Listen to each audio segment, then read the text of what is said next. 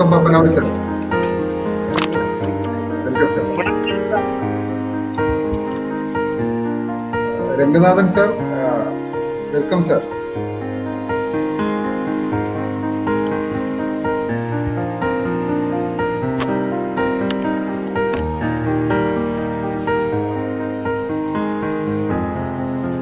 So can I start giving the instructions?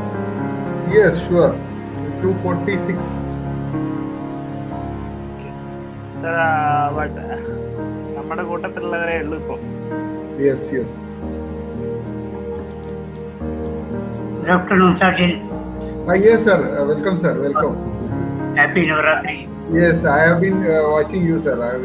Hello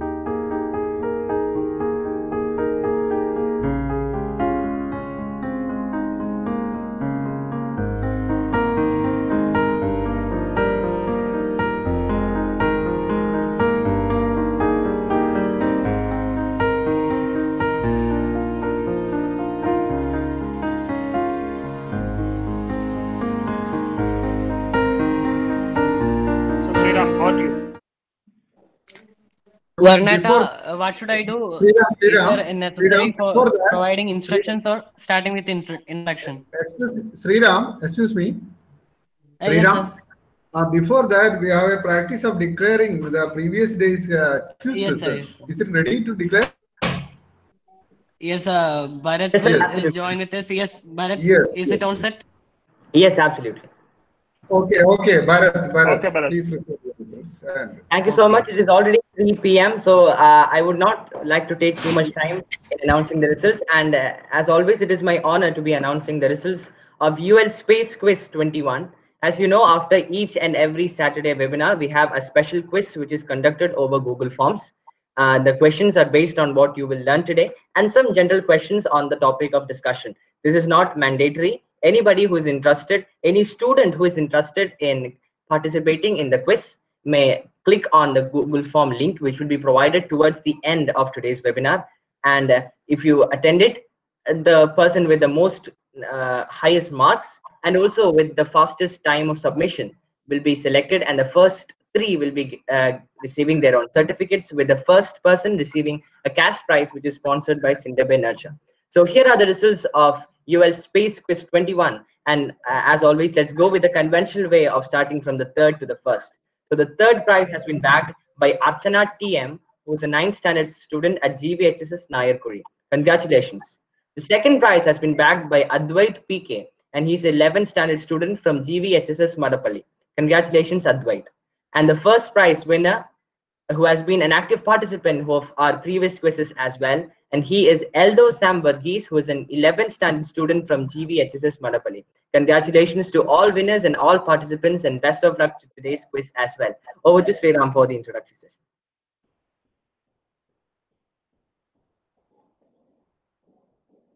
Okay, Bharat, am I audible? Absolutely. Okay, first of all, I like to give you important instructions regarding to the webinar, which is already uh, given by Varnatan. I will repeat it. Switch off your mics and uh, cameras until you have to express something to us or till we request you to say something.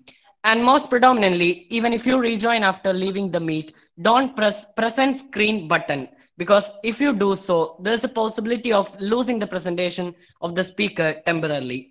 And we wish you to pin the presentation screen of speaker by tapping it from selecting uh, from the people list. So it will be easy for you to see the slides of our speaker always. And the chat box is only for asking your questions for the Q&A session. And all kinds of discussions using chat box are strictly prohibited due to the decision made by webinar committee. Discussions can be done in our WhatsApp group called Cosmos, which is already under the UL Space Club. If you are interested in that, please DM to Varnatan or Bharat.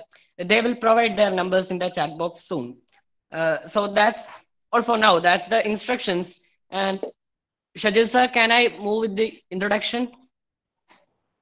yes, yes, yes. Okay, thank you. Good afternoon to all of you. Thanks to Ranatan and Bharat for providing the instructions and announcing the results of the previous webinar quiz. I cordially invite all the scientists, veterans, teachers, UL Space Club organizers, students, and all other participants to the 22nd session of UL Space Club's webinar series.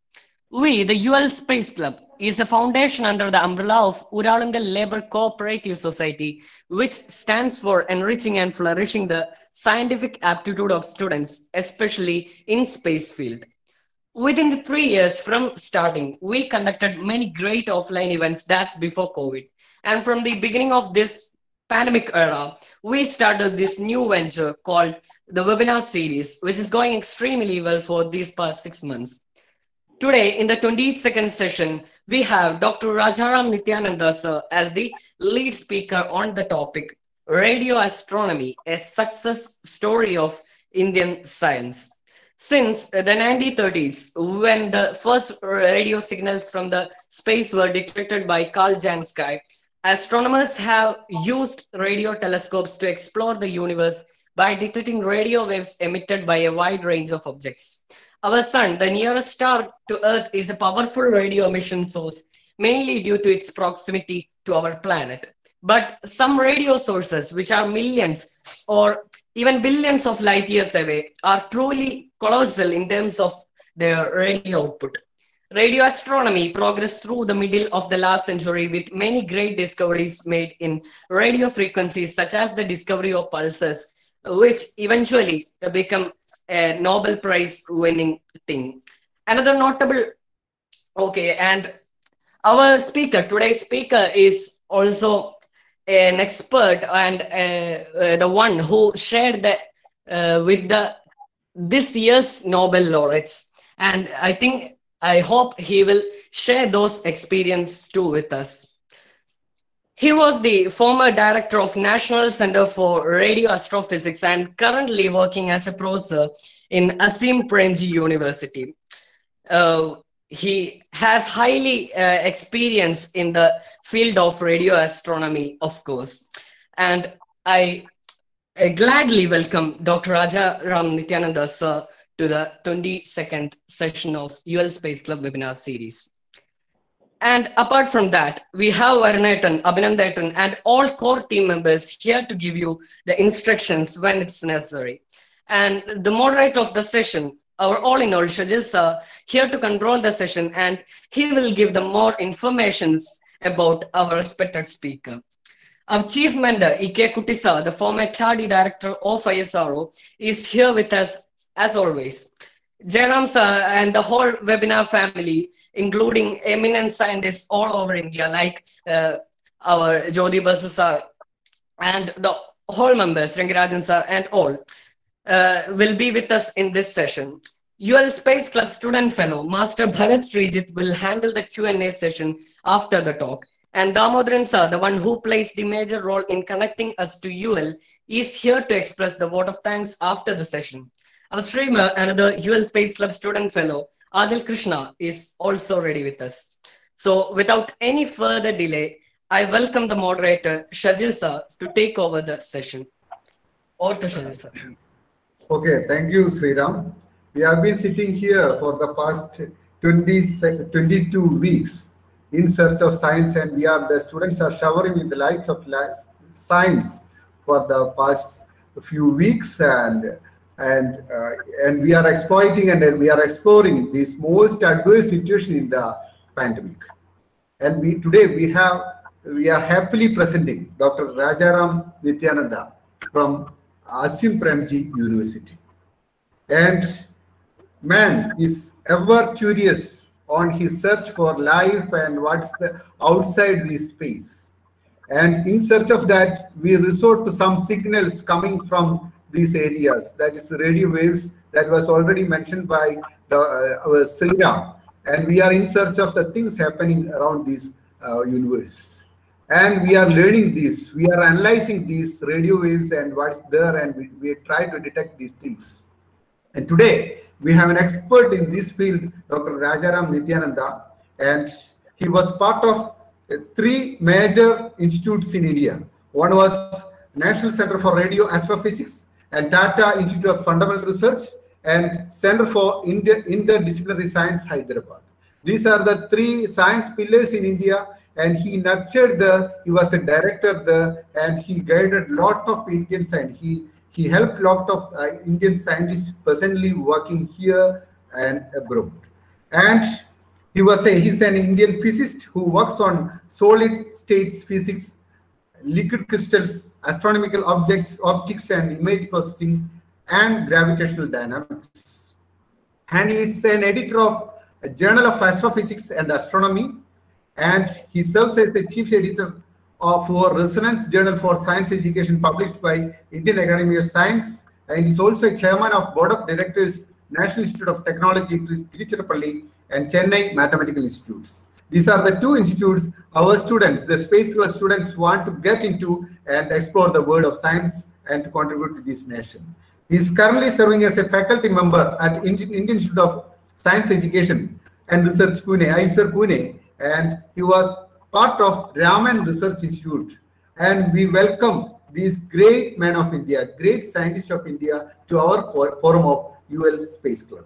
For the past 20 second, uh, 21 weeks, we are we are receiving the blessings of eminent scientists of India from various institutes in the field of science, space, and other areas. And we are in search of these science and these around 100 students continuously following this space club who are from different part of India is blessed with these scientists and we are sure that you will guided by these scientists in future also they want to develop you. And the Azim Premji University is so interested in developing these science aspirants of India with special interest that I learned from the chief guest earlier when his personal contact uh, talked with him. And we are sure that this great personality, these great scientists will guide our real science aspirants in future. We here we dedicate this talk to veteran radio astronomer of India, Dr. Govind Swarup, who passed the, who passed away on 7th of September. And we dedicate this session for in memory of that great man of India. And we make a warm welcome to our forum for this our chief guest and presenter and our most honorable guest, Dr. Rajaram Nityanand sir. Welcome, sir. Um, uh, thank you, uh, Mr. Shajid, and uh, everyone else who has welcomed me to this forum. I would like to uh, start by saying that uh, after I agreed to give this talk, many interesting events happened, like they awarded the Nobel Prize, and uh,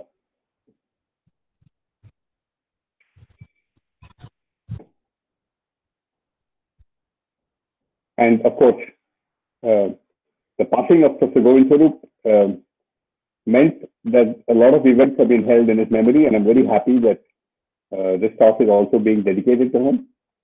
Uh, if people are more interested, there are resources on the web put up by NCRA. If you go to the website of National Center for Radio Astrophysics, and you will find a lot of material on Professor Govind. I will be saying something about him, uh, but my main goal in uh, giving this talk is, uh, first of all, to introduce you to radio astronomy, though you may have already learned something of it in the popular media, but maybe to go into greater depth. Uh, I truly think that it is one of the branches of astronomy which has made very rapid progress in the 20th century, latter half, which you already heard a little bit. And the second reason is, of course, it is something that I'm familiar with, and I should really talk on that. And third reason is that, of course, uh, there are Indian scientists working in many fields, but uh, sometimes their achievements and their successes are not as well known to our students as they should be. So uh, about half this talk will be on radio astronomy in general, and the latter half will be on uh, the achievements uh, in our country, which have actually brought it to an international level. So the summary of my talk is that uh, I've divided the progress of radio astronomy into three parts, yesterday, today, and tomorrow, right? So yesterday, let's say 1950 to 1960, in that time, it was just a neglected part of astronomy. There were a few very dedicated people who were uh, measuring radio waves, and uh, many of them had got trained in the use of radio waves because during the Second World War, they were using radar. As you know, in radar, radio signals are sent out from uh, source antenna, and they uh, strike a aeroplane or some object and come back, and that way you can detect these objects. Okay, and once the war was over, some of these people decided to turn their antennas to the skies. but the first pictures that they made were very crude. Okay, and that's the reason why the rest of astronomers did not take notice. So I have mentioned the word resolution here. That simply means uh, every point in your picture is an average of some region on the sky and uh, the size of the full moon is about half a degree. So if you had a picture in which the whole full moon was just one point, you may say that's not a very good picture. You're not seeing any details. And that was how radio astronomy started. However, if I take the period from 1960 to the present, tremendous changes took place, which I'll be telling you about. Uh, it now studies universe as a whole, the formation of galaxies, magnetic fields, black holes, which are the subject of the Nobel Prize, which I think we should have a separate talk on that. Okay. So black holes will come up in my talk, but not the Nobel Prize winning work. Okay. The birth and death of stars, and uh, more recently, the regions around stars where planets form. All these have been studied by radio astronomers. And the greatest surprise is that because the wavelength of radio waves is long, uh, this resolution that I told you, the detail of the pictures produced by radio telescopes was very poor. But due to a beautiful technique, which I will be telling you about, the resolution has now improved. So today, radio astronomy, in spite of having the longest wavelength, actually has the best angular resolution. And we'll see an example of that. And it's extremely sensitive because of very large radio telescopes which have been built. So uh, since I cannot tell you all about radio astronomy, I have selected four uh, major discoveries which happened after 1960. Okay, and in each case, I'll give you some background, I'll show you a few pictures, and move on. So this is a bit like uh, going on a guided tour in a bus. Uh, you know, the guide takes you, shows you something, but before you can see properly, he takes you away to some other place. Okay, but uh, there's plenty of time in the question answer session if any of you are interested in more details. So around 1950, uh, people uh, had constructed models of the expanding universe. And uh, if it is expanding, it means in the past it was much smaller, which means the density of matter was much more. And then if you compress matter, it will naturally become much hotter. Okay. So uh, this model, which is called the Big Bang model, was constructed purely as a theoretical model. Uh, and it was constructed for a different reason to explain how we were able to form chemical elements heavier than hydrogen. Okay, so that was the reason for constructing that model. But uh, one of the predictions of that model was that as this universe would also be full of radiation, radiation just any hot object emits radiation. But as the universe expands, the radiation cools down, and uh, this famous uh, scientist called George Gamow, whose books are worth reading even today, he said that you will be able to see radiation at a temperature of few degrees Kelvin. Okay. Then he was completely forgotten. In 1965, without knowing about his work, uh, two astronomers, uh, I've given their names here, Penzias and Wilson, they won the Nobel Prize. It's Wilson. Uh, but interestingly, they were not working in a university they were working in a telecommunication company called Bell Labs. Uh, many of you may know that Alexander Graham Bell is the person who invented the telephone. He also started a company which did very well, created one of the best telephone systems in the world. And some of this uh, uh, technology included uh, receiving signals from satellites. Okay, I think you heard a lot about satellites from my friend and colleague uh, Rangarajan, who was a principal. So this uh, instrument, which they constructed to look at very weak signals from satellites, unexpectedly detected some radiation coming from all directions. And uh, if you assume that the radiation was emitted by a hot body, the temperature was 3 degrees Kelvin. Uh, Kelvin means that it's above absolute zero, so it's extremely cold. So to give an example, liquid helium is at 4.2 degrees Kelvin, very low temperature. So uh, of course, this had to be confirmed by further measurements. And once uh, this was accepted, this really began the modern age of cosmology because then it was very clear that this Big Bang model was correct. And then people used the model to explain so many other things like the formation of stars, galaxies, and so on. In fact, one of the Nobel Prizes uh, just two years back, I think, was given to uh, people who worked on the Big Bang model. Okay, one person.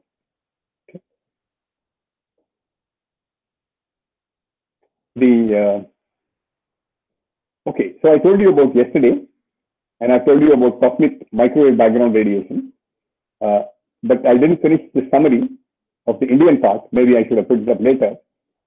uh, and about the future. So we'll come back to this. So I have shown you two pictures from this Bell Telephone Laboratories. Uh, it is already mentioned that the first detection of radio waves from outer space was in 1932. Okay, and the name was also mentioned Jansky, and his name is used for still used to measure the intensity of radio waves coming from some direction. Hmm? So one uh, Jansky is a very, very weak unit because these signals are very weak. So 10 raised to minus 26 watts. I think all of you know what a watt is. Coming on one meter square, and uh, these radio waves are spread over some range of frequencies. So you have to divide this by the range of frequencies. Okay. If you put a cell phone on the moon, you will get one Jansky. okay. So uh, this person was able to detect it. This doesn't look like a telescope at all. Uh, but if you notice these wheels, it can be turned round and round. And he detected radiation from the center of our own galaxy. In the same Bell Telephone lab, uh, these two gentlemen, who later on won the Nobel Prize, used this antenna, which was really made to look at uh, satellites, reflections from satellites.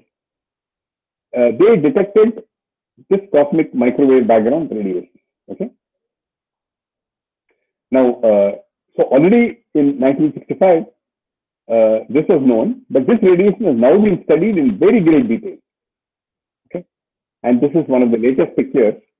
So this is a picture which includes the entire sky. It's a bit like a map of the globe, where you cannot really present it in a plane, but one has uh, this is say the North Pole, this is the South Pole. Now I should explain what the colors in this mean. I told you the temperature is 3 degrees Kelvin, but that has been subtracted out. That would not make a very interesting picture. That would just be a uniform uh, intensity. So what has been done is to plot the regions where there is excess emission, that is these regions, or regions where there is reduced emission. So these are called the fluctuations in the microwave background radiation. Planck is the name of the satellite which was used for this purpose, launched by the European Space Agency. But what is interesting is these fluctuations are very small. If you take 3 degrees Kelvin as the average, the deviations from the average are just uh, uh, one part in one lakh, right? So they are measured in micro degrees. Now you may say, why is one interested in measuring such small things in micro degrees? The answer is that without these fluctuations, we would not have galaxies, stars, planets today. If the universe was completely uniform, there is no reason for part of the universe to uh, collapse and form an object uh, like a galaxy or a star.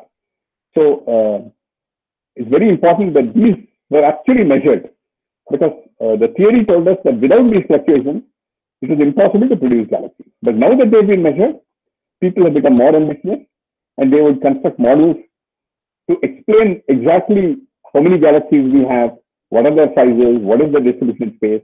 So that is a major branch of science. So I, I'll now leave this field of cosmology and come to uh, another object which is also mentioned, right? Uh, pulsar. Now the word pulsar stands for pulsating radio source. Okay? It's a name given by astronomers in Cambridge University. Uh, however, it's not an appropriate name. Pulsating suggests that you have an object which keeps increasing and decreasing in size, like your heart. Okay? But uh, these are actually rotating objects. But when they were discovered, their nature was completely unknown. I will show you a picture later of uh, the first discovery. They found extremely regularly spaced pulses. They're so regular that the suspicion was that, you know, after all, many uh, human instruments produce very regularly spaced pulses. Could it be that these were coming from some extraterrestrial intelligence? But finally, uh, a more natural explanation was found because many of them were found in all directions in the sky. Uh, today, thousands are known. The idea is that you have a star which is emitting a beam of radio waves, and uh, when it rotates, the beam will keep crossing your radio telescope, so the intensity seen by your radio telescope will go up and down. And then after one rotation period, you will again see a pulse. Okay. Now, this idea that you could have such stars which could rotate once per second, okay, because these pulses were coming once per second. So the sun rotates uh, once a month, right? So a normal star cannot rotate once per second, okay? But it had been predicted that uh, not the sun, but heavier stars will end their lives. Uh, just to tell you, these stars are uh, millions of kilometers in size, but uh, after consuming the nuclear fuel, they would end their lives at size of around 10 kilometers. Obviously, when the same mass is packed into a smaller size, the density will go up. So the density will be that of an atomic nucleus. Hmm? And that is uh, enormous density. If you want it in your familiar units uh, of uh, grams per centimeter cubed, it is 10 to the power of 15. Okay. Anyway, the prediction was made in 1932, and like many theoretical predictions, uh, it was forgotten. But when these uh, uh, rotating neutron stars were discovered using radio waves, uh, now I want to tell you a little more stories about this. So uh, Jocelyn Bell is the name of the research student who was working in Cambridge. She was not looking for pulsars. She was looking for a phenomenon which is like the twinkling of stars. Okay. Now our stars twinkle not because they are pulsating, but because uh, they pass through the Earth's atmosphere. And similarly, radio uh, sources will show twinkling phenomena passing through the Earth's ionosphere and also uh, passing through uh, the region surrounding the sun. Okay. So the date is given here. In those days, uh, they didn't have very sophisticated computers. So the output of the radio telescope was recorded on a chart like this. And you can see these are absolutely equally spaced pulses. To help you, they have provided some ticks here. And this is really the, so this entire thing is 10, 10 seconds, right? First observation. So here is a picture of uh, Jocelyn Bell at Cambridge when she was a research student. Now this telescope is not the telescope with which she discovered uh, pulsars. It is another radio telescope at Cambridge, and I will be telling you more about this uh, because uh, uh, when the Nobel Prize was awarded for the discovery of pulsars, it was shared by two people. One was uh, Martin Ryle, who is an astronomer who discovered the principle of combining the signals from many radio telescopes. Okay, and we will be talking a lot about combining signals from different radio telescopes. And the other person was uh, the thesis supervisor of uh, Bell, Anthony Hewish. Uh, actually, Nobel Prize has room for one more person, but in those days, the Nobel Committee did not give uh, the Nobel Prize usually to the students. Of course, things have changed now. But you'll be happy to hear that uh, just a few years ago, Jocelyn Bell was awarded uh, a Discovery Prize, Fundamental Discovery Prize, which is three times the Nobel Prize. And uh, the other thing which tells you something about her character as a person is that she immediately gave it away to the Institute of Physics for them to use to fund uh, young people uh, who want to enter science, especially those from groups who do not normally enter science, amongst which she included women. Okay, so a remarkable discovery made by a remarkable person. I told you that uh, Jansky discovered radio waves from the center of our galaxy, and the early radio astronomers found radio waves coming from other galaxies. But the pictures were not good enough to say where is it coming from. Uh, where, sorry. But the total energy of the radio waves was not in all galaxies, but in some of galaxies was more than the energy of all the light coming from the stars.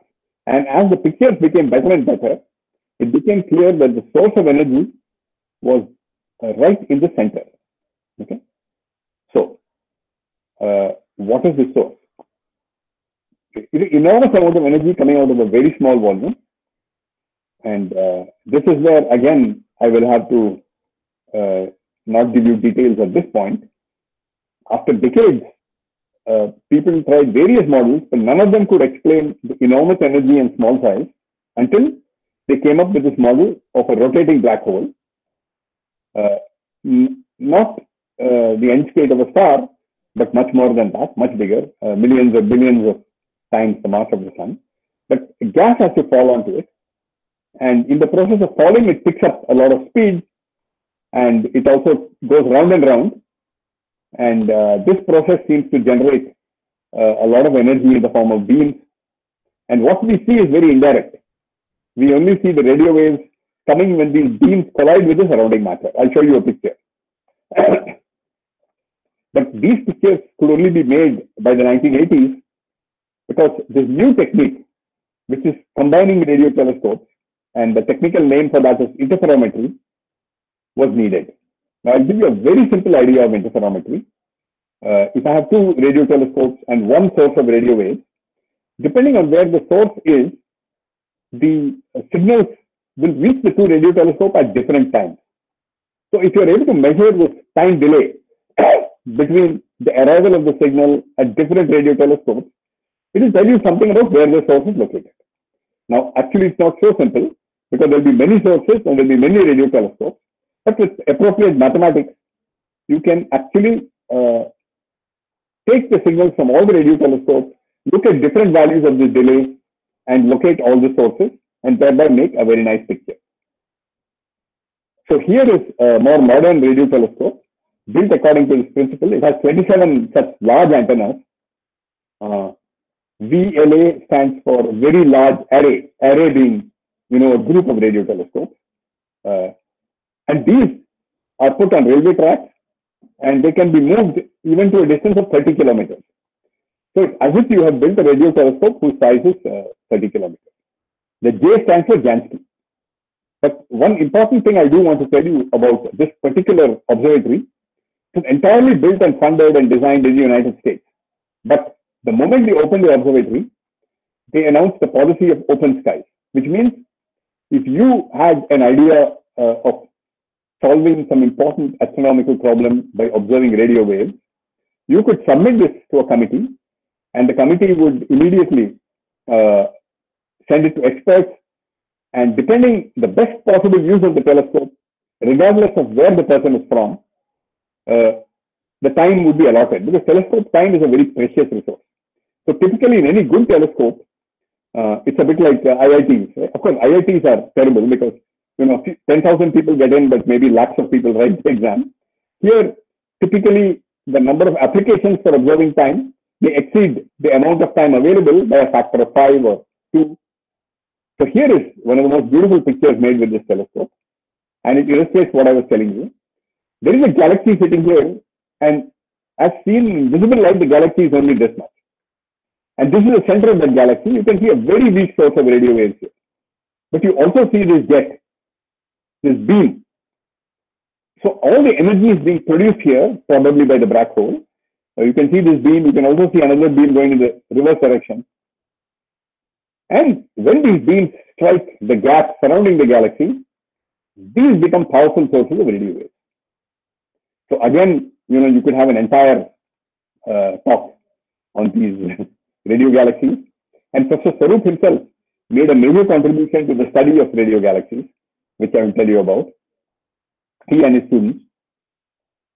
Now I come to the greatest achievement of this technique of interferometry, which happened only a few years ago. Okay. Uh, so first look at this picture. This is the entire Earth. Okay? And these dots show the locations of various telescopes. See, in the case of uh, the array which I showed you earlier, the telescopes were located 30 kilometers apart. Now we are talking of telescopes which are located 10,000 kilometers apart. Hello? Hello? No, no problem, sir. No problem. Let me, let me continue. Huh? No problem. Sir. Yeah. So notice that this is one telescope in Hawaii, this is one in Spain, this is one in Arizona, and then one in the South Pole, one in uh, and many telescopes actually in Chile. And signals from these telescopes were combined using a similar technique to what I described earlier. Hmm? And their target was the center of one of these uh, galaxies which I told you about, right? So here are pictures of all these telescopes. And uh, I told you that uh, the resolution of a telescope depends on the wavelength. So they went to the shortest possible wavelength, which is about, uh, in this case, about uh, 2.6 millimeters. Okay. And they combine the signals. Now, if you go to the previous picture, combining the signals from these is very straightforward because uh, in 30 kilometers you can use optical fibers to combine the signals. How do you combine the signals from a telescope in the South Pole? So the answer is that the signals were recorded in each place separately, and after a month, all the things were sent by plane or by ship to a common place in Germany, and also one here, and the signals were combined in the computer. Okay, so this is an experiment which uh, took almost a decade to set up, and uh, this is the image they made, which I'm sure every one of you has seen because it appeared in every newspaper. And it is a ring of radio waves. Okay? And what is amazing is the size uh, of this. This size is small enough so that one can actually see this region. Now, you say there's nothing to see in this region, right? But that is the whole point of this observation. If there's a black hole, radiation which passes too close to the black hole will fall in and you will not see it. But radiation which just misses the black hole will form a ring. Okay? So this had been predicted for a very long time, and this was finally observed. And therefore, this has given tremendous confidence in the model which I told you that uh, you have uh, such black holes at the centers of galaxies on which gas falls and it emits radio waves and so on and so forth. So again, uh, reluctantly, I will have to leave this story. But here's another picture which shows you uh, where the telescopes are located, right? Because one picture is not enough, half the earth. Okay. So I, I think this is a very impressive picture. now uh, we come to the second part of my talk, which is about uh, the Indian Sea. So uh, I told you that the rapid growth of radio astronomy started in the early 1950s. Okay. And uh, by the mid 1960s, so 1963 for Govind Swarup and uh, 1972 for Radhakrishnan, uh, they were eminent radio astronomers who were working abroad, uh, but who then decided to come back to India and uh, carry out research in radio astronomy in India. Okay? And uh, I have worked in the Raman Research Institute group, uh, and I have also worked in this group. So I know both these people very well. And the interesting thing is, uh, when though they came back to India, uh, they continued to be very active and influential in the international community of radio astronomers. You know, in, in terms of being on all committees, advising uh, other radio telescopes, and therefore they could uh, attract some of the best people. So uh, I had the advantage of meeting some of the best astronomers in the world, and of course they built up their own programs with telescopes and most important with students. So these are two people, but today perhaps you know there may be uh, 50 people or, or more who have studied under them or studied under their students and who are pursuing radio astronomy. Okay. And what is really interesting is that these did not function as rival groups. Uh, each had its own interests, its own instruments, but there was a very free exchange of ideas and even an exchange of people. Like I told you that I moved from the uh, Raman Institute to the TIFR. And uh, in fact, other people moved from the TIFR to the Raman Institute. Okay? So that's a brief account of the Indian scene. And now I'll show you some of the radio telescopes. But first, let's look at these two personalities. Uh, these are uh, relatively older pictures of uh, Professor Swarup. I think this he must have been in the 70s when this picture was taken, right? I mean, he has gray hair and, or not much hair, but you can see that his face is completely youthful he's enjoying himself, and the same is true of uh, Radhakrishnan. Uh, both are no more. Both are born in 1929. Uh, both are no more. But I've also included pictures of them when they were abroad, working earlier. So Swarup actually went abroad in the early 1950s and worked in Australia. Okay. And this is a picture of him taken in Australia. And uh, Radhakrishnan went a bit later, and this is him in California Institute of Technology. Uh, actually, you, it's very easy to guess which of these people happens to be uh, this person, right? It has to be this man. I mean, you can just see from um, so uh, everyone called uh, Professor Govind. So I used to call him Professor Swarup, but within a few months he told me, no, please call me Govind. And likewise, everyone called Radhakrishnan uh, Rad. Okay? So because I was first at the Raman Institute, I'll show you some of the radio telescopes which were built at the Raman Research Institute. Okay, uh, it was a smaller group, and the projects were less ambitious.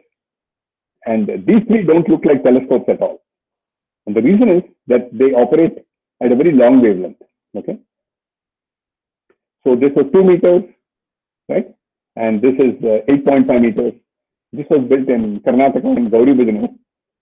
So uh, these poles, which you can see, support a network of wires which you cannot see. Uh, okay, you can see a little bit here. So the radio signals are picked up by these wires. And of course, you might think that the radio signals will go through. That's not true. Because there is a bunch of wires here which reflect the radio waves. Okay. Uh, and this uh, is a joint venture of uh, the Raman Institute and the Indian Institute of Astrophysics, all these three. Uh, one of the problems in astronomy is that if you live in the northern hemisphere, you can't see the south, southern part of the sky. So this uh, radio telescope was built in Mauritius, which is in the southern hemisphere, okay, jointly by Indian Institute of Astrophysics and the Raman Research Institute. And finally, all these are very long wavelengths of meters, as I said, 8 meters, 2 meters, and so on. This one is at the short wavelength of 2.6 millimeters that I mentioned. Uh, this telescope was active for about a decade from 1985 to 1995. And many, uh, at least uh, several of the people who worked on this telescope actually later on went and joined uh, this project which I told you, uh, in which telescopes were combined from all over the world. Okay. So although this telescope, uh, in fact, is being taken down, because technology advances very fast. So at the time it was built, this telescope could do observations, uh, which could uh, then be published in international journals. But very soon, the technology became so advanced that any telescope located in Bangalore could not compete because Bangalore is not high enough. Uh, uh, these uh, very short wavelengths are absorbed by the Earth's atmosphere. So all the millimeter telescopes that I showed you are located on the top of high mountains or in very cold places. Okay. So so much for the radio telescopes of the Raman Research Institute. I won't tell you much about the science. Uh, now let's come to the uh, TIFR group. And as I said, the two groups work together. So even before I joined the TIFR group, uh, I was very familiar with uh, the work going on there. And I'm sure uh, uh, Dr. Rangarajan, was in fact at TIFR at that time. He was not doing radio astronomy, but all his friends were doing radio astronomy. So this is, uh, you can see it's a pretty large telescope. Okay. Um, in fact, uh, this is a picture taken from Google. So it means this, this telescope is so big. So each one of these frames, which you see here, uh, you can see all those frames here and they are casting shadows. And this is a road coming up to the, this is the main building. And the interesting thing is that this is built on a hill. It's built on a slope. Uh, again, I can explain why it is built on a slope later. So the radio signals, again, you cannot see the most important part of this telescope, which is a number of wires, which reflect the radio waves to this point, right? And uh, yeah. Mm.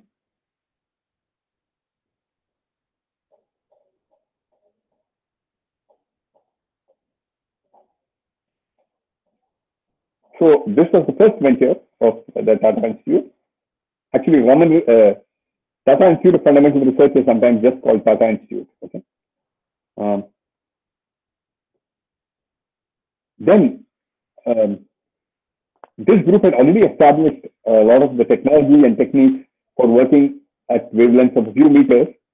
Most of the world was working at shorter wavelengths, as I already told you.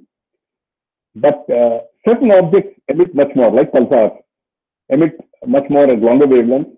And in particular, uh, hydrogen, which is the most abundant element in the universe, if it is in the form of neutral atoms in space, not even molecules, but atoms, then it emits at a wavelength of 20 centimeters. And if it is very far away, it will emit at even longer wavelengths because of the expansion of the universe.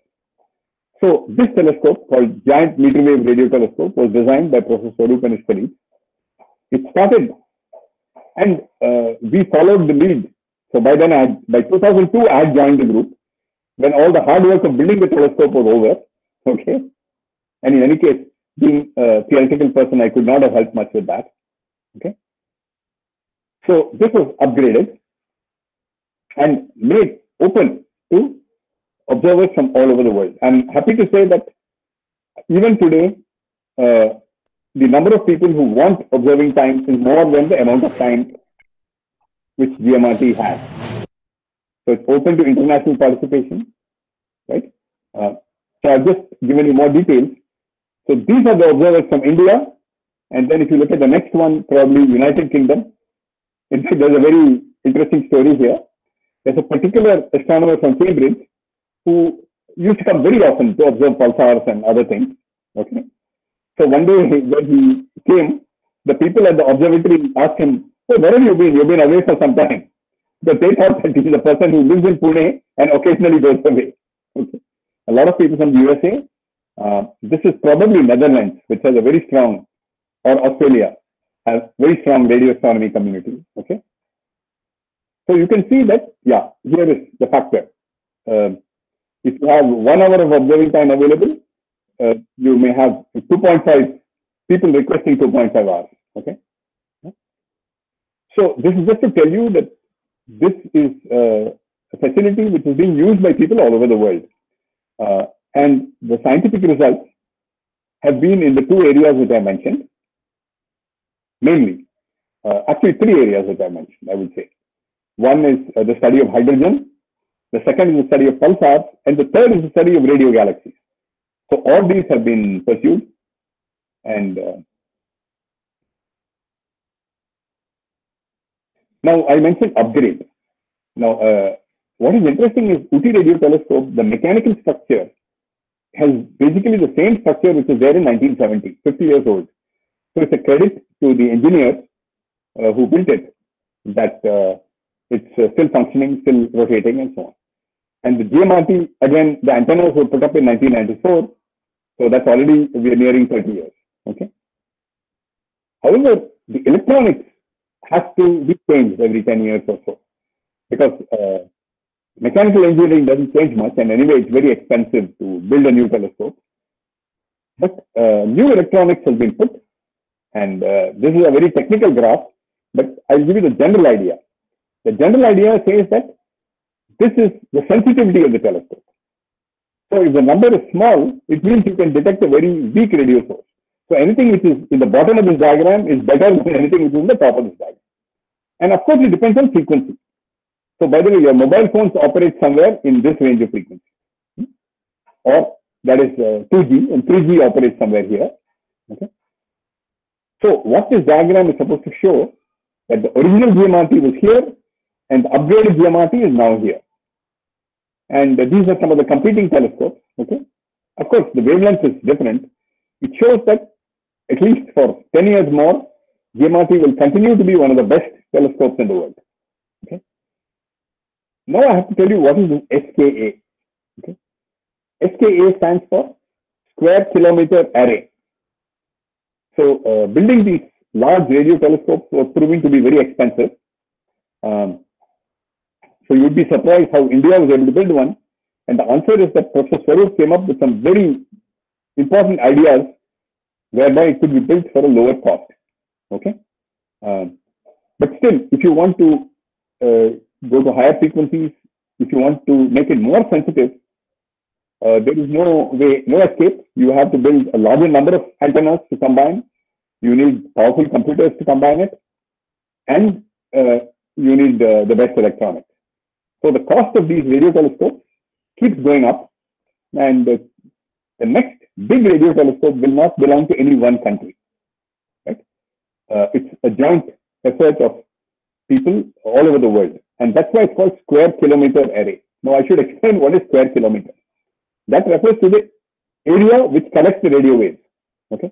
The actual radio telescopes are distributed over thousands of kilometers, right? But uh, so for comparison, if you take uh, the GMRT, uh, the total area of that is much less than one square kilometer, right? Even though each dish is large and there are 30 antennas, much less. Right? The other improvement which will take place in the S SKA, SKA is not built yet, by the way, and this is the kind of telescope that takes 10 years to build. Okay. So most radio telescopes up to this time had only a single receiver of radio waves. Okay.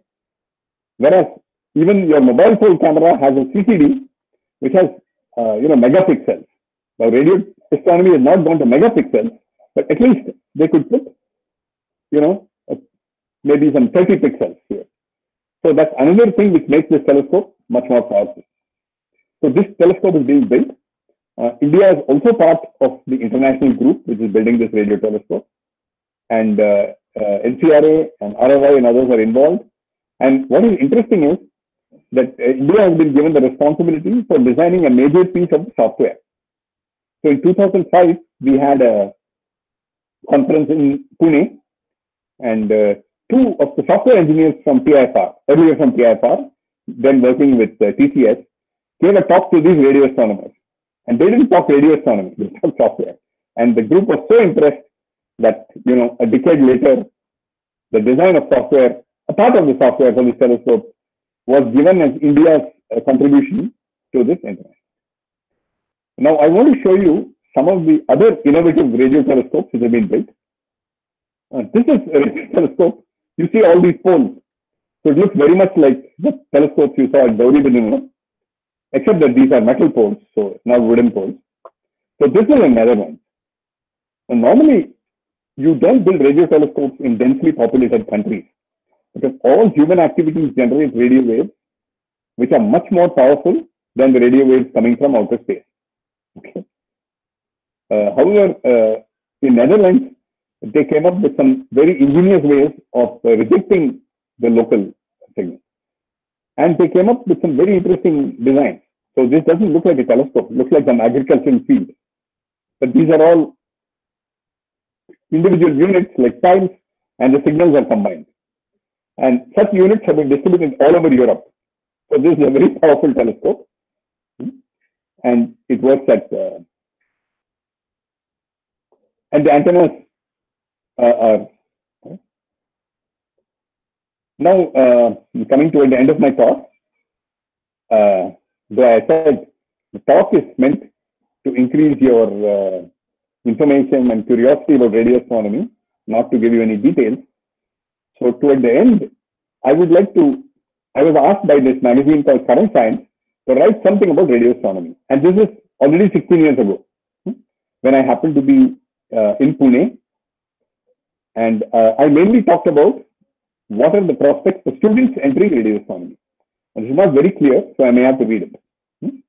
What prospects await those students who take up research in astronomy? Facilities in India are getting better.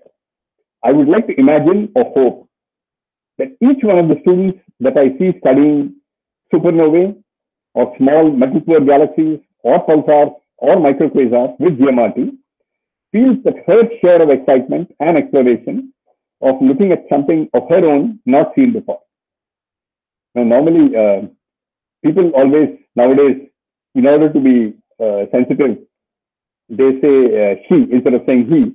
But in this case, I am not being politically correct. It turns out that all these four research students were all women working in NCRA in 2004. Okay. A reasonable PhD in astronomy should also offer broad training in modeling physical processes, analyzing objects. So interestingly, all four of them uh, now uh, work as faculty members at different observatories. Okay. So my prediction made in 2004 is correct. Uh, I think uh, one of them came back to NCRA and other people went to other places. Hmm? So this is just to say that if anything, the opportunities for students entering this field with square kilometer array and so on are even better than they were in 2004. Uh, now, these are just some of my personal thoughts. I myself have retired, but uh, as I said, this is a field uh, where a lot of uh, progress has been made in India. And to carry that progress forward, I'm not saying that everyone should join. So radio astronomy is not the only game in town. In fact, I can recommend to you names of my colleagues in Indian Institute of Astrophysics who will tell you that optical astronomy is also equally promising. But this is a very interesting uh, proverb, which I believe goes back to some very great physicists. You should never work in a field unless you have an unfair advantage. or uh, you have a good start. So someone entering radio astronomy in India today has this advantage. There are good facilities, good people who can advise you, and good international contacts. Now you might think this is a very narrow field, but actually it is not. Okay, uh, it's very interdisciplinary.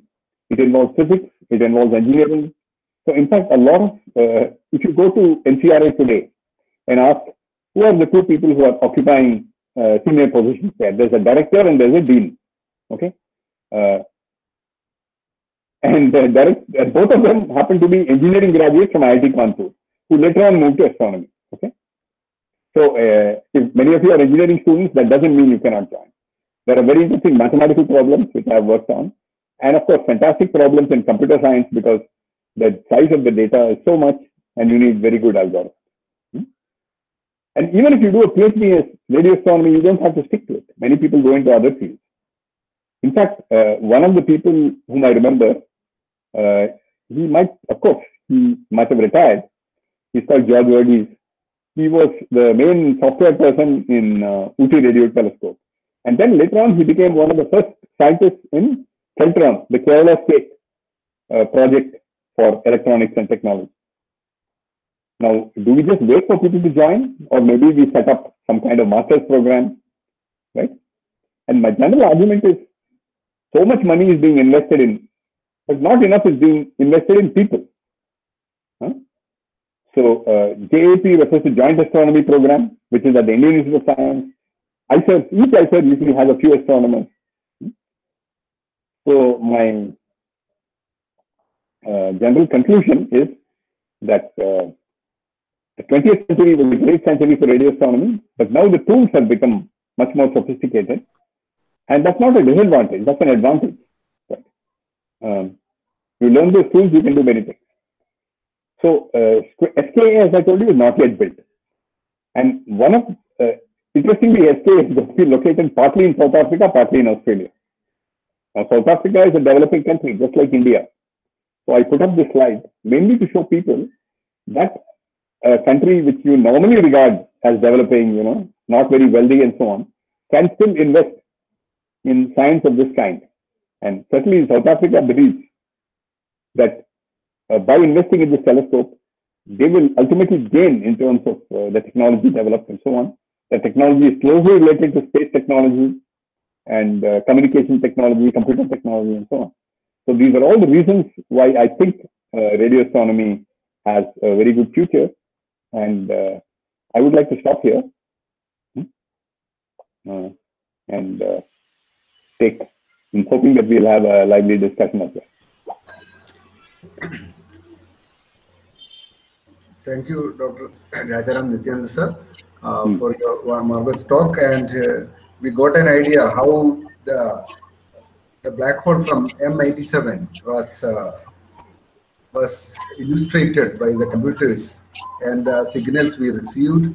And and from the beginning of this radio astronomy and astronomy and its scope in future and i'm sure that few of our students the real science aspirants may get inspired and they will search in your way of radio astronomy that's that the way you presented these things and uh, the scope of that is very uh, very well for uh, described here.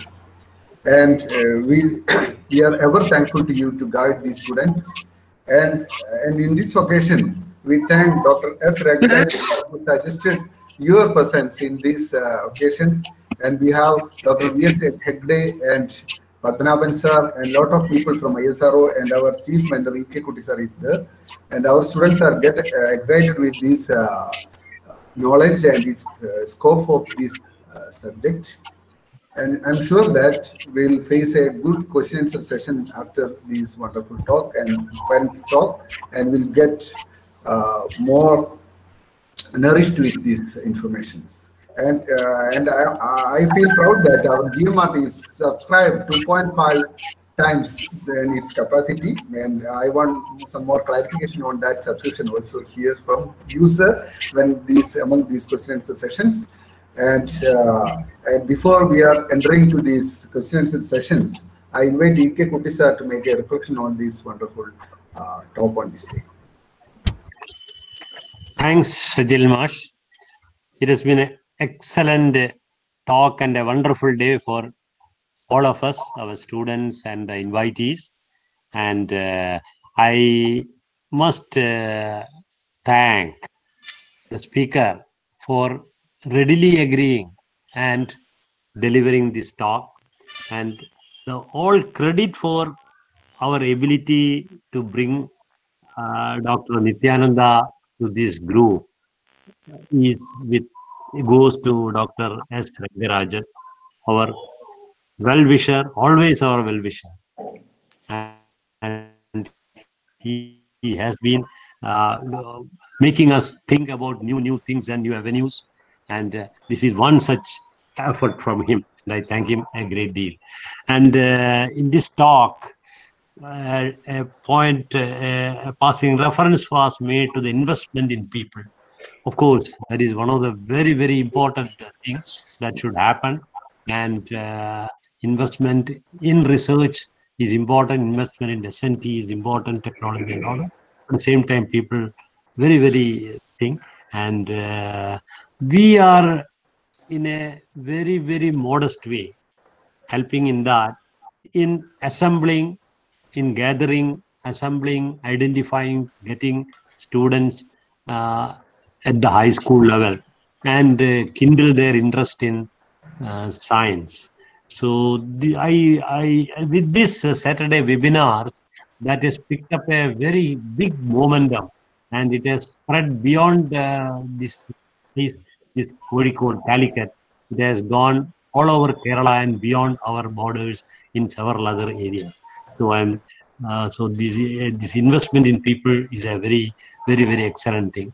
Now we have been longing for this talk on this topic for quite long ever since we began our webinar in May 2020 epidemic era, but it has happened now. So first of all, I thank Dr. Rangarajan. So soon after uh, this, uh, uh, Dr. Nityananda agreed to come and deliver this talk.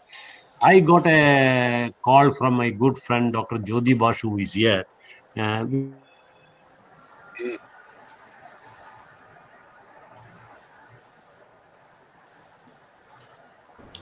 um, you know, professional uh, link with uh, Dr. Govind Swarup, Professor Govind Swarup. So, and Jyoti was also one such. So I got a few this thing. Then Jyoti called me and said, then why don't you try Dr. Nityananda? So I told him it has just happened. Uh, he has kindly consented to be with us. So I'm what I'm saying is uh, this uh, Dr. Rajaram Nityananda has been in the uh, radar of many people when it comes to uh, the um, astrophysics and radio astronomy.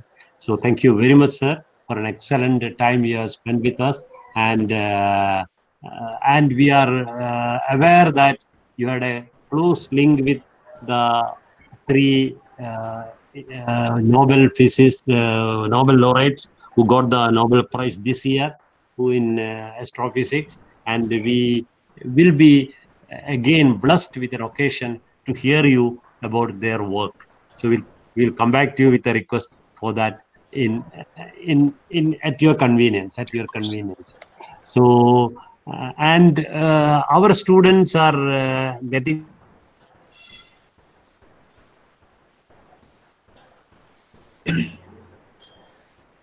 I think some connectivity problem with Putza.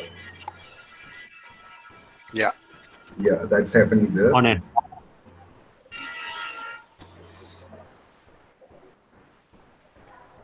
Okay, sir. Maybe you should uh, We, switch we, the we, video. we, uh, yes, yes. Uh, that that that may I'm be. not quite sure. So this is the only occasion we got it. So thank you very much, sir. So now the session gets open for a discussion, question answers. Okay. Thank you very much. Thank you. Thank you, good sir. Before we go into the Q&A session, I want few words from our uh, our honorable Dr. S. Rangarajan sir on these topics. Okay, sir.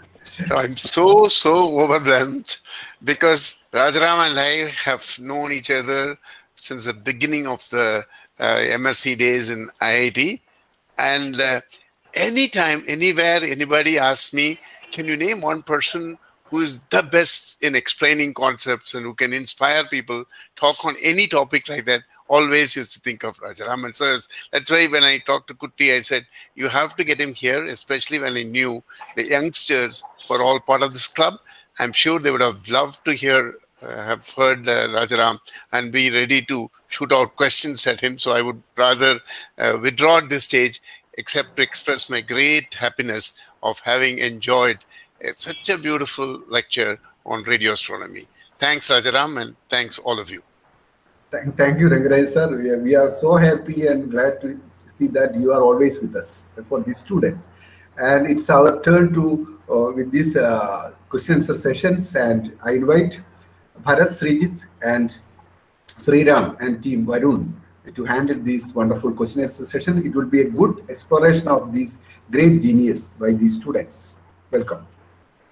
Thank you so much, Shajil sir. Uh, I hope I am visible and audible and ready to go. So, first of all, uh, it is my honor to express a sincere gratitude to Dr. Rajaram Nityananda. In fact, uh, listening from a person of your class is, in fact, uh, a great honor for all the students who've gathered here. And a special thank you to Dr. S. Rangarajan, who has been part of us, who has been on this journey for months or even a couple of years since we've been able to meet him a couple of years back. And uh, since then, Dr. Rangarajan has also been a part of our journey. And uh, thank you so much to all of you uh, for staying here and being part of our journey for months. Now, uh, in fact, it, I've told you it is a great, difficult kind of thing to uh, moderate a Q&A session, considering the huge amount of questions that come up, and I'm only uh, able to be selecting a few relevant questions from them and asking Dr. Rajaram Nityananda. So please do pardon me if I'm uh, if I'm forced to avoid questions from your part uh, because of the limited amount of time we are uh, we are allowed to. So the first question is from Archana TM, and uh, sir, you've talked about the techniques of interferometry and interferometers. So the question is, so what is the basic principle behind the interferometers? So um, in fact, I had a question to add upon this particular thing. We've heard about the LIGO observatory where they have an interferometer there as well, as well as the fact that the EHT or the Event Horizon Telescope had used a technique called very long baseline interferometry. So I would like to uh, ask Dr. Rajaram Nityananda what the basic technique of interferometry is and what is the difference in the technique used by LIGO and the EHT. Uh, okay. So, uh, can I also ask uh, Archana uh, uh, uh, which standard she's studying, just so that I can try and use those concepts uh, in explaining it. I think the Ah. first question was from uh, Archana TM, and I think she's a ninth standard student. The second Okay. question was from myself, Okay. and I'm Yeah, yeah, that's fine. Yes. Okay. So, uh, basically, okay, first of all, let me take care of LIGO. Hmm? So, LIGO is a little different from the radio situation. So, in LIGO, you have uh, some mirrors which are placed at the ends of some vacuum tubes.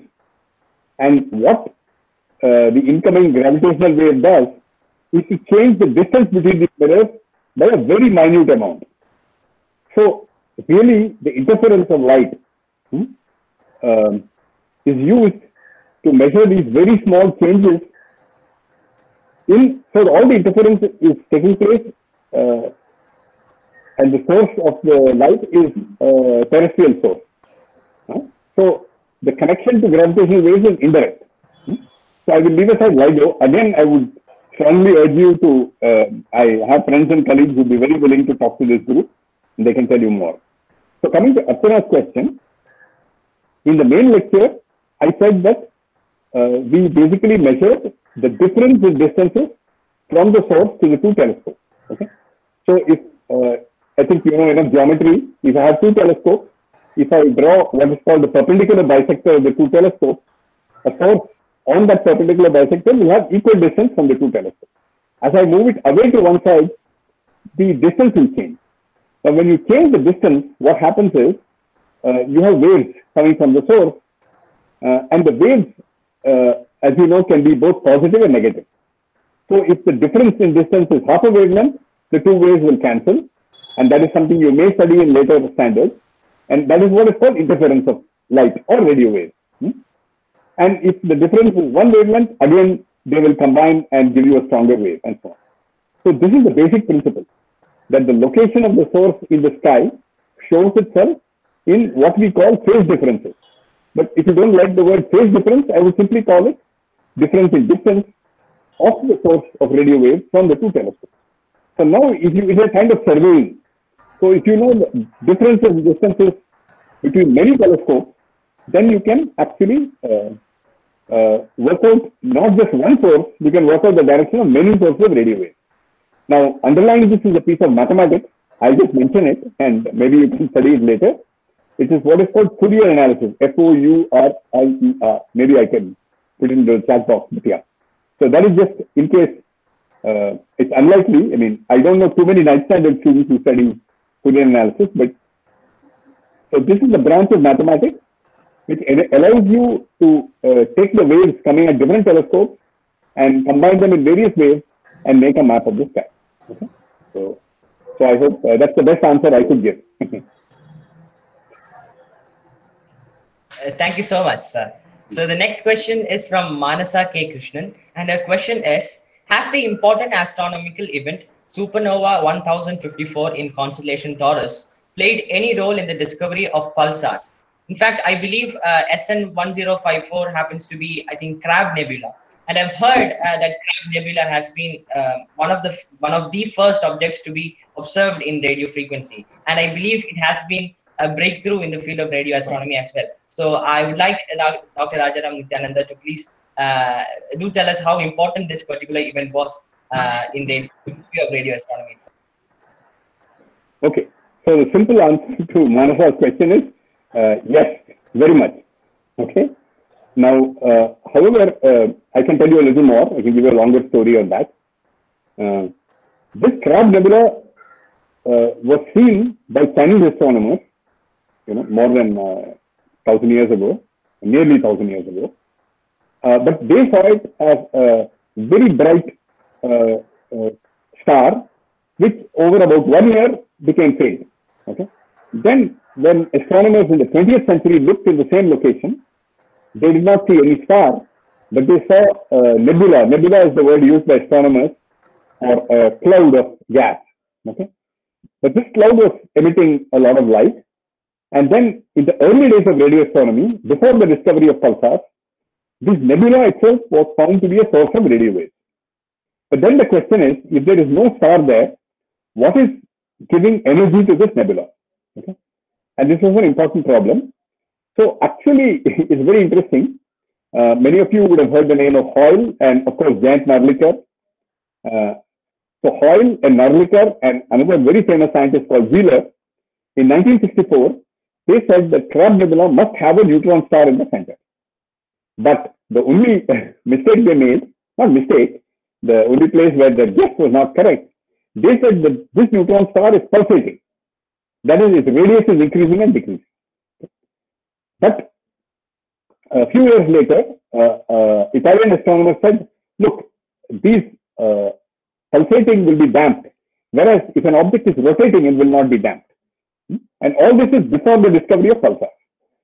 so the moment pulsars were discovered, Jocelyn Bell at Cambridge was not able to detect the crab, the pulsar in the Crab Nebula, but uh, astronomers in the United States who had a very huge radio telescope called Arecibo Radio Telescope, okay, uh, they were able to detect pulses from the Crab Nebula.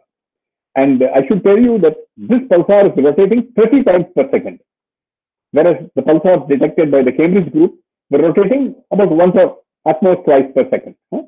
So it showed that a neutron star can rotate very rapidly. So you can ask, is 30, uh, 30 times per second a record? And the answer is no. The current record for the maximum rotation speed of a pulsar is something like 630 times per second. So think of an astronomical object which is uh, rotating once every 1.5 milliseconds. And the interesting thing is that this was again discovered by research students in the University of California, Berkeley. Uh, his name is Srinivas Kulkarni. He studied in IIT Delhi. And he is now, of course, a very famous astronomer. at California Institute of Technology. Okay, so the Crab Nebula had a very important role, and Crab uh, pulsar has been studied at every wavelength, X-rays, uh, including uh, AstroSat. AstroSat also looks at Crab. okay.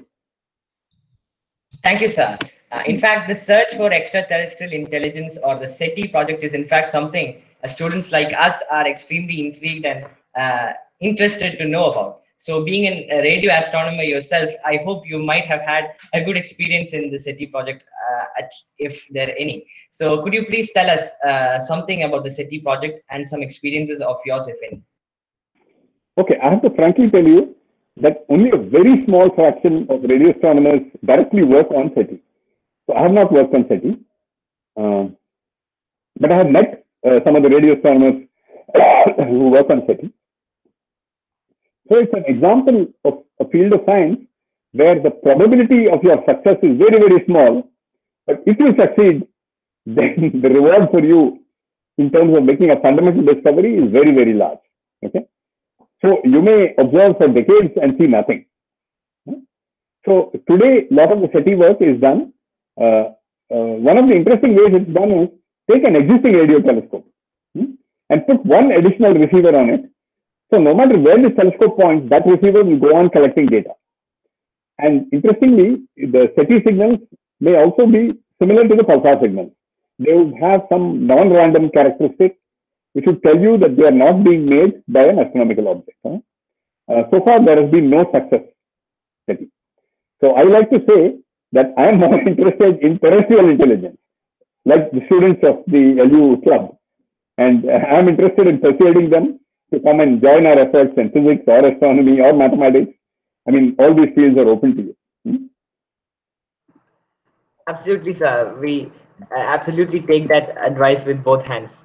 Uh, the next question is from Abhiram TP, and he happens to be a member of UL Space Club. And his question is, sir, can you please describe about the Arecibo radio telescope in Puerto Rico? Uh, yes.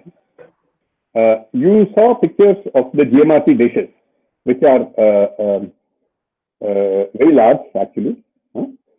Um, and of course, the larger the structure is, uh, a telescope should also point to all directions in the sky. So you need all kinds of mechanical uh, arrangements to rotate this telescope. So larger and larger radio telescopes become very, very expensive. Okay. So the largest uh, telescopes which can be rotated are about 100 meters in diameter. But uh, what uh, American astronomers uh, decided is that in one island, which is off the coast of America called Puerto Rico, there was a valley which approximately had the shape of a, a spherical bowl. So they said, we will not build any mechanical structure. We will uh, put uh, metal reflectors all over this bowl and carefully align them so that they form the correct shape for a radio telescope. And then we will put receivers at the focus of. So uh, in fact, if some of you are on uh, on Google, you can straight away Google Arecibo radio telescope and you get a beautiful picture of this uh, valley, which is 300 meters in diameter.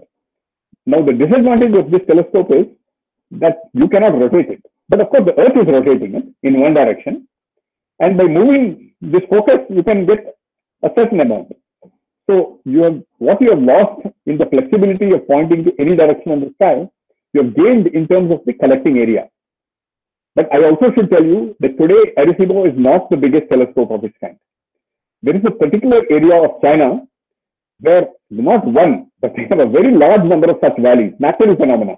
Okay, uh, and they have built a 500 meter uh, diameter telescope. And learning from Arecibo, uh, they have actually uh, built it with a more advanced technology. And of course, uh, uh, nowadays when people blame China for everything, so one could say Arecibo telescope recently suffered a big accident where a wire fell down and damaged the telescope. But I think this has nothing to do with China. It's just to do with an aging mechanical structure. So today, I would say the most powerful in terms of collecting area radio telescope in the world is this thing which is 500 meters in diameter. Okay, uh, which is it's called FAST. And that's the name of the telescope. If you want to Google it, you can learn about all the exciting science going on there. So basically, it would be used to detect extremely faint signals. Or if you want to see pulsars, you can see pulsars which are much further away. Okay, so that's briefly the story of these large single aperture radio telescopes. My lecture concentrated more on uh, not having a single large radio telescope, but having a large area split up into a number of smaller radio telescopes, which are then can be scattered all over the country or all over the world. Thank you, sir. The next question is from another UL Space Club member, and his name is Adil Krishna. And his question is, uh, can you please tell us some of the main discoveries of the Giant Meter Wave Radio Telescope? Okay. So um, the initial two aims, which were stated by Professor Govind Swarup, well, three aims he stated. And in fact, he and his colleagues wrote an article in Current Science uh, even before the telescope was built, saying this is what we want to do. so one is, uh, I showed you these pictures of radio galaxies. Okay. Now, radio galaxies emit at a large range of wavelengths. If you want the highest resolution, you have to go to very short wavelengths. So you may ask, why go to longer wavelengths? And the reason is that uh, there are certain, uh, with at shorter wavelengths, you only see the central region. If you are interested in the outermost region, what is called the halo of radio galaxy, then you have to go to longer wavelengths. Okay, and there is a lot of interest in the physics of the halo. So that is one goal. Hmm? Or the way Govind used to express it, we are interested in the old electrons. So an electron goes on emitting radio waves, it becomes tired. So it stops emitting high frequency radio waves, but it still emits low frequency radio waves. Hmm? that is one. Second is pulsars. And the third, and in a way the most uh, important perhaps, is the study of uh, hydrogen gas. So as I said, if hydrogen gas is present in our galaxy, you will receive the radiation at a wavelength of 21 centimeters. Now, because of the expansion of the universe, if it is in a very faraway galaxy, the same radiation will now appear at 50 centimeters or, you know, one meter or two meters. So if you want to study hydrogen in the very early phase of the universe, which is very, very far away, uh, sorry, let me explain that. See, when astronomers keep looking at objects uh, further and further away, you may say they are mapping out the universe. They are doing geography. But interestingly, they are not only doing geography, they are also doing history. The reason is that if I look at an object which is billion light years away, then I'm seeing that object as it was billion years ago. And today, radio astronomers and optical astronomers are seeing objects not just 1 billion, but maybe 6 billion, you know, 10 billion years ago. So by studying the emission from hydrogen, not at 21 centimeters, but at longer wavelengths, one can keep looking at more and more distant parts of the universe. And this has been one of the success stories of GMRT. Okay. And in the case of pulsars, uh, quite a few pulsars have been discovered at GMRT. Uh, uh, I'll mention two very interesting ones. One of them is orbiting around another object, and uh, the orbit is elliptical, and this holds the record for the most elongated ellipse. So those of you who know the geometry of the ellipse know this parameter called eccentricity. So this eccentricity is nearly 0.9 for this pulsar. Okay. Another, uh, we mentioned Crab Nebula. Now, uh, pulsar is located in the center of Crab Nebula. There was another nebula which uh, was somewhat similar to Crab but somewhat older. Crab is about 1000 years old, maybe this was 2000 years old. So people asked, isn't there a pulsar in this nebula? But uh, people were unable to detect it. And that's why this astronomer came from Cambridge and he collaborated with uh, our own astronomers and they were successful in finding what we call the older brother of the crab. Hmm? So apart from discovering many pulsars and studying pulsars, uh, I would single out these two discoveries. I mentioned hydrogen. Okay, uh, and uh, at long wavelength, uh, one of the first maps of the entire sky at a wavelength of two meters was produced using 2,000 hours of GMRT time. And this data was so big that in fact uh, the astronomers at NCRA were not able to analyze it fully, and uh, astronomers from, but it was still of great interest. So astronomers from Netherlands, along with a few younger students, they uh, put very powerful computers and very good algorithms, and they released uh, this map to the public, and that was very useful. So these are a few examples. And uh, but what I want to emphasize is that every six months, you have, you know, every day there will be two or three astronomical projects which will be carried out. Hmm? So the number of papers published using GMRT is very large. But I've just singled out some of the highlights. Thank you, sir. The next hmm. question is from Dr. Emma Shivaraman, and I believe he might be a person whom you are quite familiar with. And the question is, sir, will large number of low orbiting communication satellites planned for internet service by many countries? Uh, excuse me, Shajil sir, I think. Okay, I think it's uh, okay. May I please continue with this? Okay, sir. The question is: Will large number of low orbiting communication satellites planned for internet service by many countries affect radio astronomy observations? In fact, uh, when I myself tried searching about things like Starlink, one of the most important concerns uh, which came up from astronomers was uh, that some of the sky might be blocked by satellites and all sorts of stuff. And I believe you, uh, sir, is the best person to be answering this particular question. So, uh, what is your take on this, sir?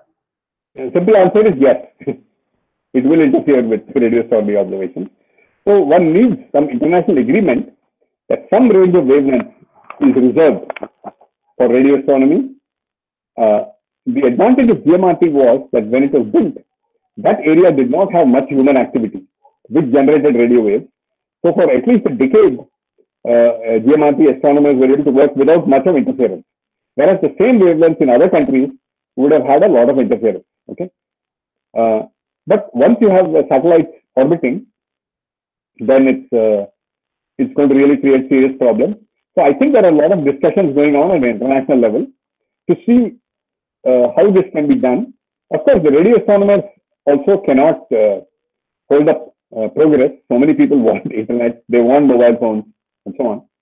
So if, I, if you look at these sites in uh, South Africa and uh, Australia, which were picked, they're also picked because they are in completely uninhabited, uninhabited regions. So perhaps uh, you know the uh, satellite operators may not send too much of signals to those places and so on. And ultimately, if you want to remain on Earth, the South Pole is a good place. of course, it's very expensive to put a radio telescope at the South Pole, though you saw one. But interestingly, uh, the cost of this square kilometer array is as I told you, it was originally projected to be $1 billion. It may end up being 2 or $3 billion. But that is still very small compared to if you take uh, the successor to Hubble Space Telescope. The cost is increasing by $1 billion every year. Okay? So if any astronomy can be done from Earth, people would prefer to do it from Earth rather than go into space. But in the long run, if you say 50 years from now, the best radio telescopes might be on the far side of the moon where the moon itself will shield you from all the harmful uh, radio emission from Earth. Okay. So uh, in the next decade, perhaps we will still, you know, be able to do useful radio astronomy from Earth, even GMRT. Later on, square kilometer array being located far away will continue to be useful for a couple of decades. In the very long run, we don't know. Thank you, sir. Uh, in fact, our US Space Club member Abhiram TP has been quite curious and has asked what are the upcoming important projects in the field of radio astronomy. And I believe some of them have been addressed by you in your answer to the previous question. Are there any other important uh, upcoming projects in the field of radio astronomy? Okay. I mentioned Square Kilometer Array. That is the most ambitious project involving all countries. Uh, however, it does not go to very short wavelengths. Now you may ask, why do you want to go to 2.6 millimeters? One is for resolution. The second is, I mentioned the importance of detecting hydrogen. But actually, uh, there is hydrogen in the atomic form. But if you have hydrogen in the molecular form, then to detect that, you have to go to this much shorter wavelength. Okay. And why are we interested in uh, uh, hydrogen in the molecular form? Because ultimately, uh, when you have gas spread in the atomic form, the density is very low. As the density becomes higher and higher, uh, which is needed in order to form stars and form planets, uh, you have to uh, look at molecular hydrogen. And you have to look at other molecules like carbon monoxide, H2O, and so on. So if you want to study the formation of planets, the origin of life, and so on, you need very short wavelengths. And one of the best telescopes uh, in that is called ALMA, A-L-M-A. So I would simply say go and look it up, and you will get enormous information about this. Now, ALMA was also used for this EHT, but that is not the main purpose of ALMA.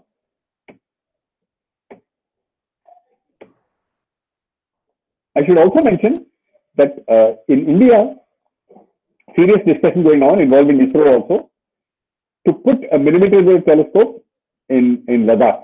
Because Ladakh would be as good a place as uh, maybe the South Pole or these high mountains in Chile to locate such telescopes. Uh, so yeah, ALMA is one example of an upcoming project. It has just started operating and a lot of good science will come out. Uh, then I mentioned the Dutch project. So yes, I think I'd already anticipated that people will be interested in the future and I said something about it. And existing telescopes like uh, GMRT and VLA will keep improving their electronics, maybe build a few extra antennas to Thank you so much, sir. In fact, Abhiram, you're always free. You always have the option of coming up with some technologies in the future, if possible, yourself as well. So the next question, sir, is from Adidev JD, and he's a member of UL Space Club as well. And he's asked uh, you to please describe about quasars. We would also like to know how important radio astronomy is in understanding things like quasars, supermassive black holes, and all these kinds of things as well. Could you please explain about how important radio astronomy has been in this particular field? Okay. Now, uh, I mentioned that uh, I mentioned radio galaxies, and I said quite a lot about them. Basically, that you have a central black hole, and that, that uh, gas is falling onto it, and uh, as it falls down, uh, the potential energy released is converted to kinetic energy, and then into heat, and then the heat energy is converted into uh, radiation in all bands of the spectrum, and the rotation in particular generates magnetic fields and radio waves. Okay, I mean that's a very brief description. now this process occurs whenever you have a central black hole and there is gas available to fall on it. Now, depending on the mass of the black hole, uh, some of this might also be visible in visible light. Okay, if you have a lot of gas falling on it, so the same uh, activity in the center of a galaxy around the black hole can either give rise to a lot of radio waves or give rise to a lot of uh, visible and ultraviolet light. In that case, it's called a quasar. Or it can also uh, give rise to both. So many quasars also emit radio waves. In fact, there's a very interesting, the very first quasar was first located at radio waves. And then when people found its position very accurately, they found that there is a mysterious optical object there. People had taken the spectrum of that object, but they didn't understand the spectrum at all. And the reason is they assumed that it's a star in our own galaxy, and then the wavelengths did not agree with the wavelength of very known elements. But the moment they realized that it's a very faraway object, they could explain the spectrum completely, and that is the first quasar. So yes, uh, that's a brief introduction to quasars. Thank you, sir. The next is the last question of today's Q&A session, and it is from Master Varun K. Mukundan. And uh, I would prefer him to please come forward and ask your question yourself. Varunata, can you please come forward? Yes. Uh, thank you, Varun. Uh. Uh, thank you for giving me a chance. Uh, so my question is, uh, two points are there. Uh, one is uh, how uh, radio astronomy, what's your comment on uh, how do radio astronomy take part in uh, search for extraterrestrial intelligence? I think uh, you have covered uh, that question in a few of other, questions. And uh, one more question is the that uh, how our India, how do you evaluate our India's performance in SETI by using this radio astronomy? Um, okay. Now, as I said, GMRT was built for other scientific objectives, but occasionally we have had users who wanted to use it for SETI. But I would say that another approach to SETI is to search for planets, whether there's life on them or not. And that kind of project has been uh, done at GMRT. So, uh, for example, a planet like Jupiter has a very strong magnetic field that emits radio waves. So people have conducted searches using GMRT, uh, looking for similar objects. And in many cases now, we know that there are hot uh, uh, planets like Jupiter around nearby stars.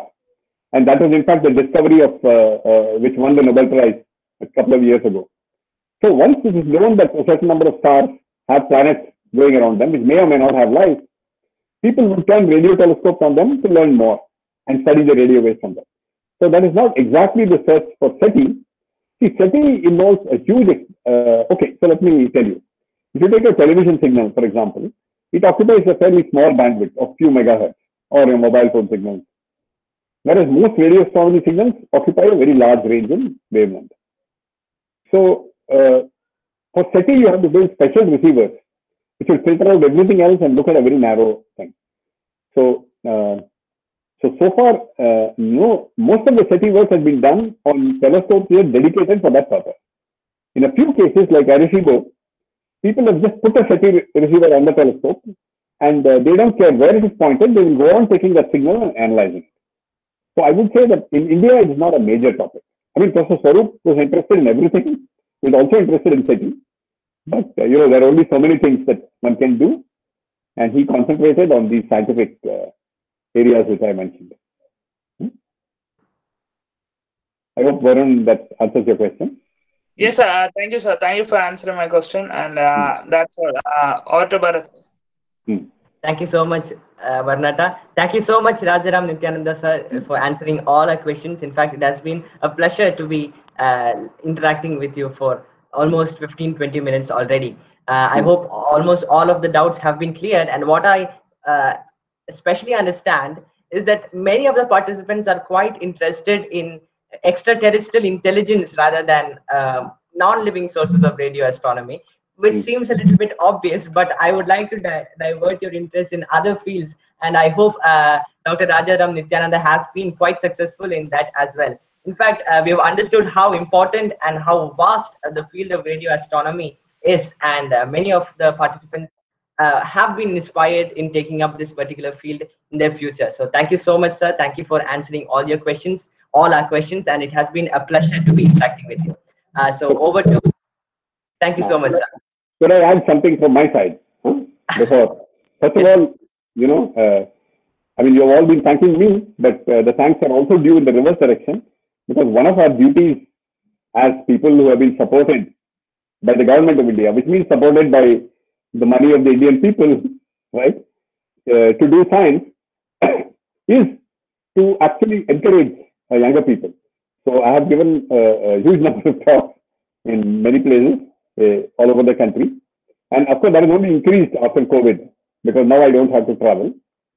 So I would just like to leave the students, uh, not that they have to do radio astronomy, but in astronomy in general, one of the uh, very good things is that there's a lot of cooperation.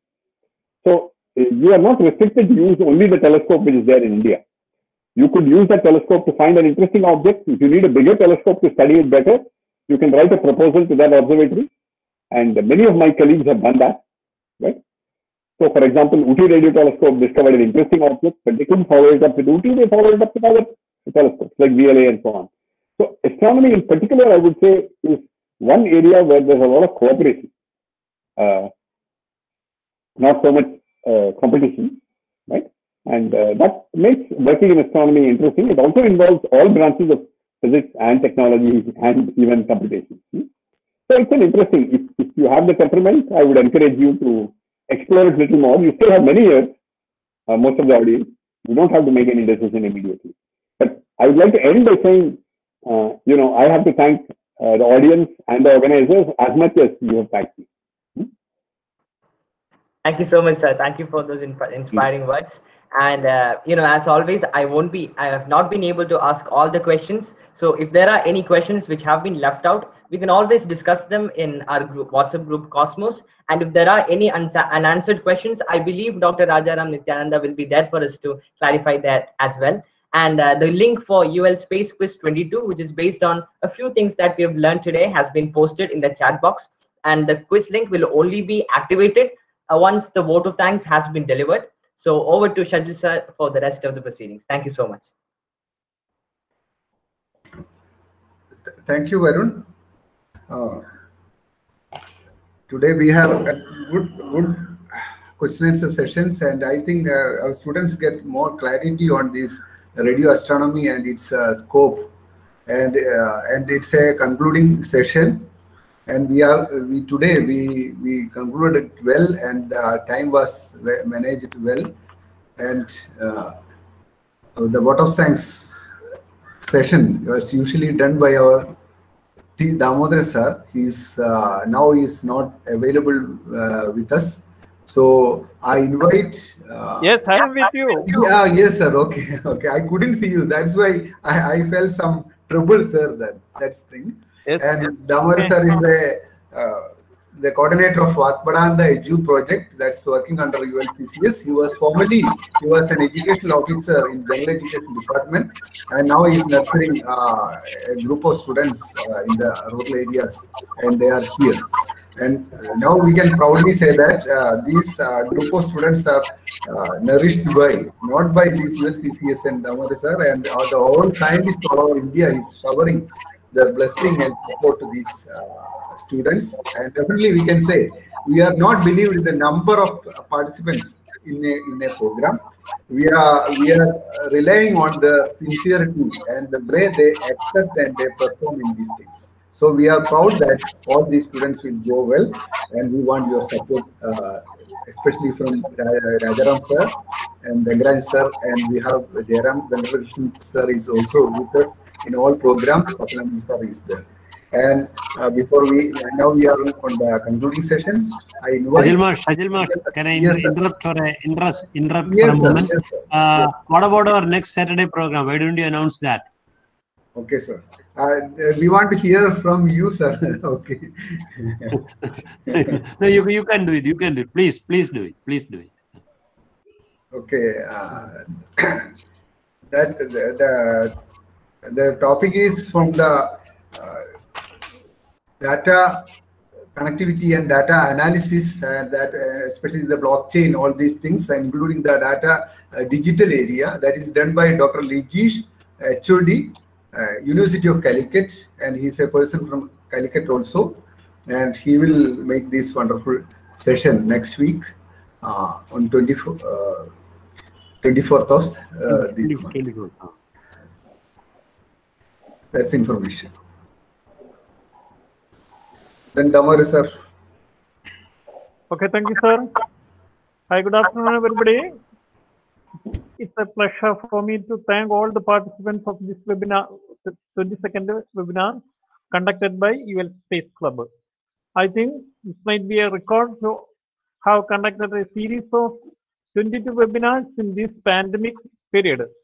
It is remarkable that all the past webinars, including this today's one, have blessed with highly designated scientists and professors of and engineers of prestigious institutions of India. Today, we have an eminent scientist, Dr. Rajaram Nityananda, to place one more feather in the hat of UL Space Club. Our honorable guest has made an excellent, excellent and informative speech about radioactive astronomy, an Indian success story. This will bring the interest in radio astronomy and kindle the uh, curiosity of space study and career of our students. On behalf of ULCCS Foundation, I am proud to extend our gratitude uh, to Dr. Rajaram Nityananda for the elegant and beautiful talk on a very interesting topic. Thank you, sir. Thank you once again. I must thank the veterans participating in this webinar who always are with us. I thank every well-wishers who are cooperating with us. Then I thank all the participants of this webinar, students, parents, teachers, all of you who were who make our progress success. I also thank Sundarban Archer for sponsoring prizes to Space Youth winners. Then I must thank the organizers of this program, the Chief Mentor Sri E. K. Kuti sir, uh, uh, moderator Sri Shajil UK, and student fellows of UL Space Club, Master Varun, Master Bharat, Master Adil Krishna, Master Sriram, and uh, like that. All are toiling for the good conducting of this webinar series. Thank you all once again. Thank you. Then let me stop. Thank you, Damar sir. And for the for the information of the students, the link for today's space quiz is posted in the comment box. You can copy it and attempt it. And that, this uh, this uh, space quiz is sponsored by uh, by Nurture, and uh, and continuously the students are bagging these things different parts of uh, this area. Okay. And now we made a wonderful conclusion of this uh, today's interesting topic. And those who are having get the chance to mm, uh, watch this directly, these things are available readily available in the channel of UL Space Club, and continuously a lot of people are watching in live streaming of UL Space Club. Now we have 22 uh, talks are there arranged in this UL Space Club channel. And next week we are going to launch. Uh, by next week we are going going to launch a, a website of this program, uh, UL Space Club, and we'll make it a good ceremony. Uh, ceremony, and we want uh, the support of all, from all your part, and we expect it from you. So Okay. uh, one more point uh, that uh, I have posted the details of our WhatsApp community in our group uh, our chat window. We have WhatsApp community called Cosmos for new members to uh, your Space Club. So uh, if anyone want to join, uh, please uh, contact in the given numbers.